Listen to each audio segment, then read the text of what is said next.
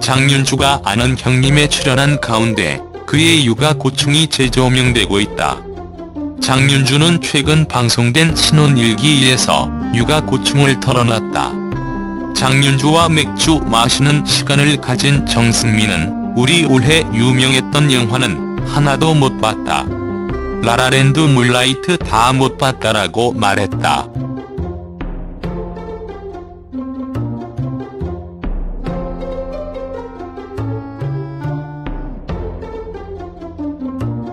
장윤주 역시 그러고 보니 올해 영화관 한 번을 못 갔다라며 아쉬움을 내비쳤다.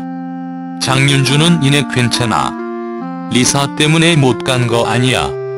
괜찮아라며 딸 리사에게 말을 걸었다. 이어진 인터뷰에서 장윤주는 그 순간 왠지 모르게 울컥했다. 리사 낳고 난 뒤 계속 집에 있으면서 남편한테 항상 했던 얘기가 여보 나 이제 뭐하지? 였다라고 털어놨다.